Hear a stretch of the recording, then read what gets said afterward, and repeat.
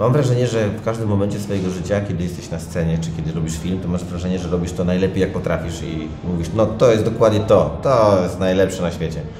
A potem patrzysz na to pół miesiąca później, dwa dni później, rok później i wiesz, że o, no nie, to było średnie i teraz, teraz dopiero wiem.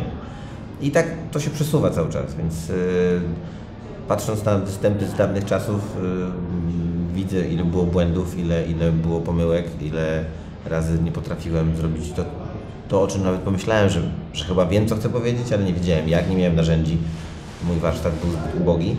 I teraz wydaje mi się, że jest dużo lepiej, ale oczywiście mam nadzieję, że za dwa lata spojrzę na siebie z dziś i powiem sobie, a jeszcze go się dużo nie kumałeś.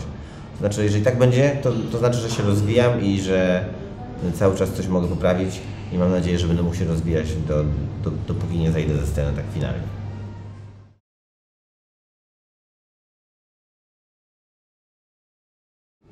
Ja już zanotowałem w swojej karierze kilka takich haseł, które się wymyśliłem, a potem się okazało, że za rok, dwa, pięć to się wydarzyło naprawdę. I mocno mnie to nie zdziwiło. Raczej ludzie dookoła byli podnieceni tym, stary, wiesz co się wydarzyło, wiesz co się wydarzyło. I jak zobaczyłem, że znowu ten filmik ma więcej wyświetleń, zacząłem się zastanawiać o co chodzi. Dopiero potem pomyślałem, no tak, to jest nawiązanie do tego, co się dzieje teraz w szkołach. Wiesz co, no to, to, to, pokazuje, jak, jak to wszystko jest absurdalne, co się dzieje naprawdę. To znowu dotyczyło polityki i tak patrzę, czy to jest lewa, czy prawa, czy żółta, czy zielona strona, to oni cały czas wymyślają takie absurdy, że ja się boję, że niedługo oni będą szybsi niż ja. Wtedy ja będę bezrobotny. Na razie, póki ja jeszcze jestem szybszy, to, to znaczy, że, że jest dobrze.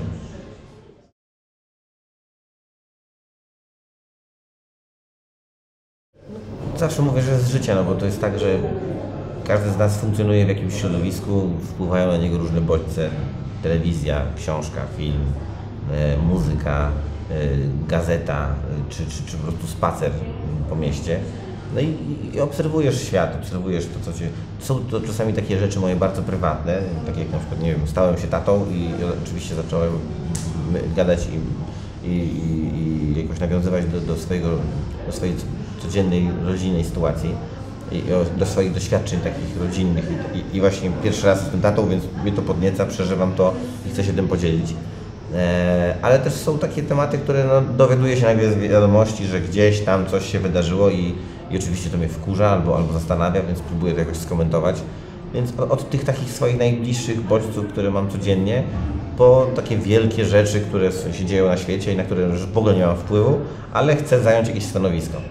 No i chyba wszystko po prostu, co się dzieje mnie jakoś tam to yy, yy, inspiruje.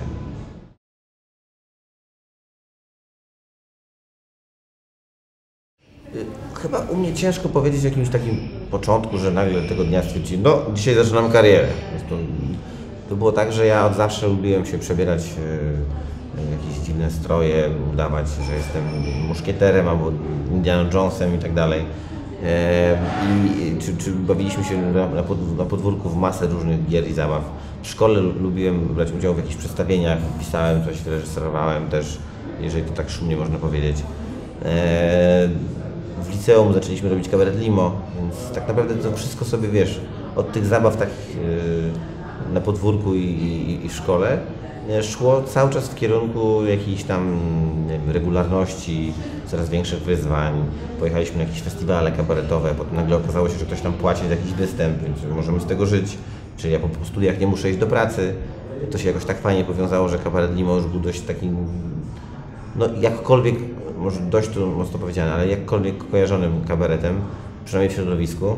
Gdzieś udało nam się zahaczyć o jakąś telewizję w międzyczasie, więc yy, nagle te prośby czy pytania, czy prośby, ale jakieś tam propozycje występów pojawiały się coraz częściej i okazało się, że nie musimy robić nic więcej poza tym, że jedziemy gdzieś, gramy to, co chcemy. Jeżeli potrzebujemy nowego programu, to siadamy, piszemy, ale wiemy, że to nam przyniesie e, kolejne doświadczenia, kolejne wyjazdy, a co też e, za tym idzie, jakieś tam pieniądze. E, I nagle okazało się, że, że możemy funkcjonować w takim zawodzie. On przyszedł do nas sam z siebie.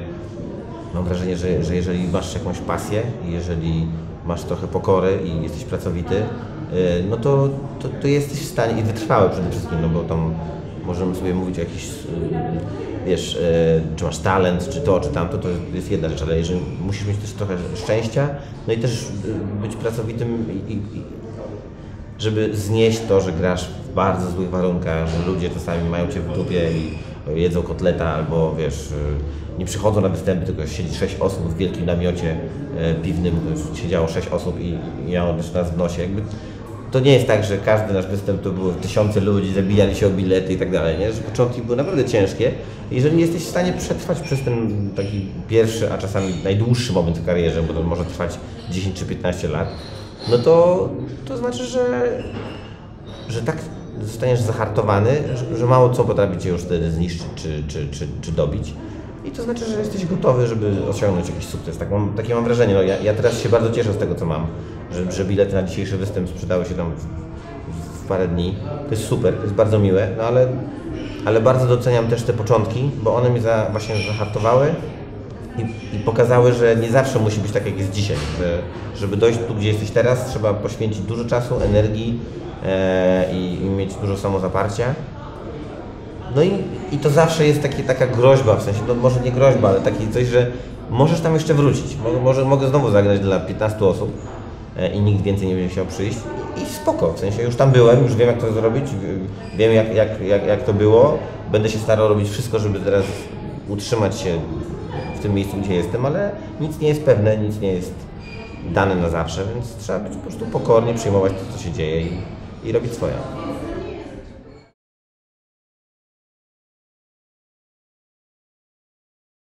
Mam wrażenie, że pierwszy raz tak mniej świadomie, e, pierwszy raz zobaczyłem coś stand-upowego, to był program Delirious, Delirious tak, e, Ediego Murphy'ego i to było na tej sieci DC++, czy coś takiego, była taka sieć, kiedyś, jesteś za mały, żebyś, żeby, za mały, za młody, żebyś, żebyś pamiętał, ale jak ja miałem tam naście lat, to była taka sieć na podwórku, no każdy miał taki właśnie taki program i to, i to nie był chyba internet, z internetu, to było z internetu, ale to było jakoś tam, to coś na podwórku, to, nieważne. I tam ktoś miał na dysku właśnie taki, taki program i to było, obejrzałem pierwszych parę minut i byłem wstrząśnięty, bo tam było dużo bluzgów, strasznie dużo seksu analnego i tak dalej. Byłem przerażony, co się dzieje, że Eddie Murphy z filmów takich komedię, przecież normalnie wszystko, a tutaj nagle buch, na, tak grubo. A potem jakiś czas później, no właściwie parę lat później, Kacper Ruciński pokazał mi jakiegoś siwego typa, który gadał o religii. Się okazało, że to był George Carlin i też mnie wkurzył. Miałem takie, Jezu, jak można tak, tak po prostu negować wszystko i, i to byłem taki wstrząśnięty, ale potem się wciągnąłem w cały ten świat i no, okazuje się, że to jest świat, który kocham. E, więc te zderzenia pierwsze z stand-upem były bardzo takie, hm, co to jest, czemu tak ostro, ale ja byłem też wychowany w świecie kabaretu, który był no, delikatniejszy, każde przekleństwo, każde, każde, każda mocniejsza rzecz była tysiąc razy dyskutowana, czy jednak używamy, czy może nie. On nie był taki swobodny, raczej w jakichś ramach. y, Ja nie mówię, że to było złe, tylko że to było coś innego. I jak kiedy się zderzyłem z tym takim dość szczerym, autentycznym przekazem tych ludzi, taki od siebie, od serca, który, jeżeli my wszyscy przeklinamy, to oni też mogli, no bo czemu nie? Przecież to jest normalnie, normalna wypowiedź. E, no to to zderzenie mnie zaskoczyło, ale im dalej w las, tym więcej drzew i tym bardziej mi się zaczęło podobać.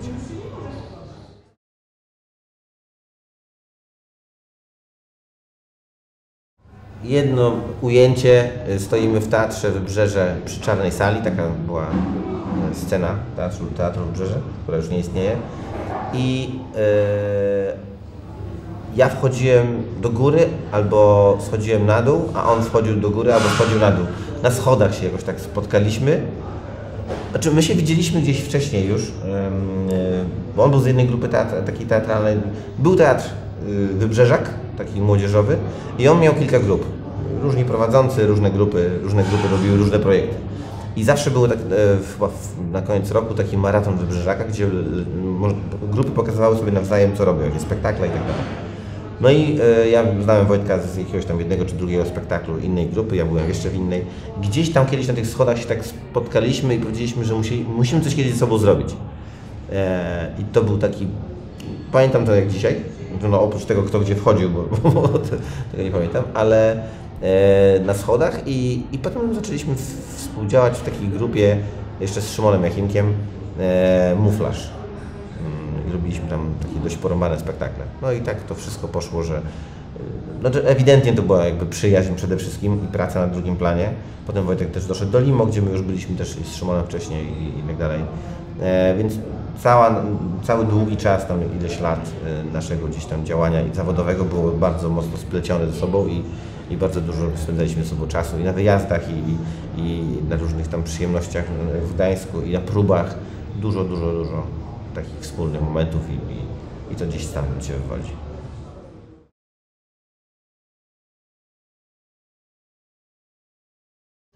Szczerze mówiąc, co im zawsze chcę powiedzieć, to im piszę na fejsie, więc e, zapraszam do mnie na fejsa, tam e, napiszę Wam coś od siebie. E, no, no, no bo teraz na takie zawołanie, na pytanie, czy ja chcę coś powiedzieć, no to kocham Was, jesteście fantastyczni, Woohoo! mam nadzieję, że zobaczymy się niedługo gdzieś na żywo i to akurat szczerze mówię, bo, bo najfajniej spotkać się na żywo, a nie tutaj przez szkiełko.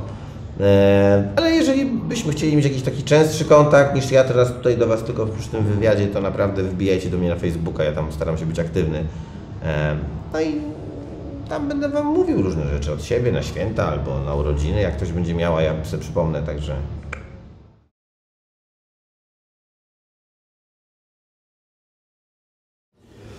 Szczerze? Nie, no, e, wiesz, jakby na razie projekt jest dużą tajemnicą.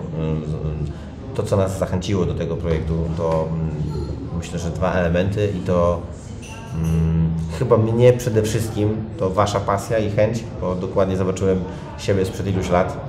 E, I jak ja próbowałem namawiać różnych ludzi do tego, żeby, żeby weszli w mój świat i, i, dali się porwać e, przygodzie, którą sobie tam wymyśliłem.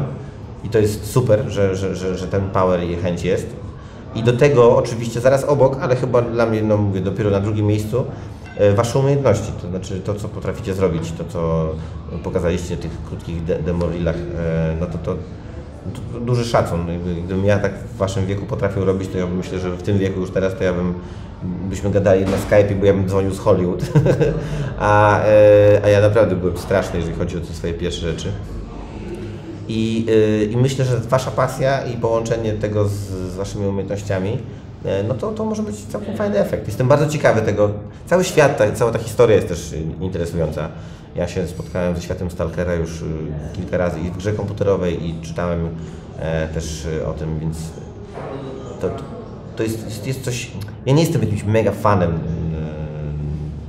y, Chociaż nie, lubię to. To, to, to nawet nie jest taki science fiction, to jest, to jest coś, coś więcej i głębiej, więc absolutnie wycofuję się z tego, co powiedziałem. Więc y, i historia jest fajna. Ludzie, którzy też to robią, y, ludzie, którzy się pojawiają w tym filmie, e, to też są ciekawe postacie, z którymi fajnie współpracować. Poza tym też przygoda, że znowu z Wojtkiem pojawia się w jednym momencie, w jednym miejscu, w dość ciekawych strojach. Będziemy udawać, że jesteśmy super twardzielawi i że możemy zabić każdego. to jest dość śmieszne, jeżeli mówią to dawaj podstarzali kolesie mm, z brzuchami.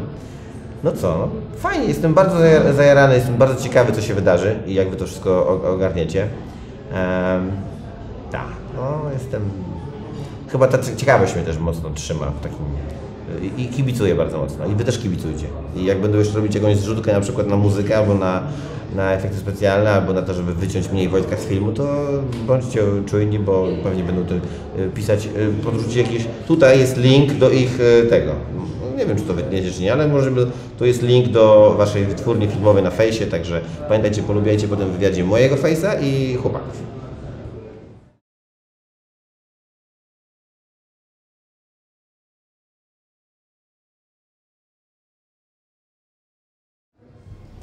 Fajnie, że tak potwierdzasz. Super, dałeś radę chłopie, naprawdę, całkiem spoko powiem. Fajnie, jakbyś przy szóstym pytaniu, mm, jeszcze raz, coś, coś innego powiedz.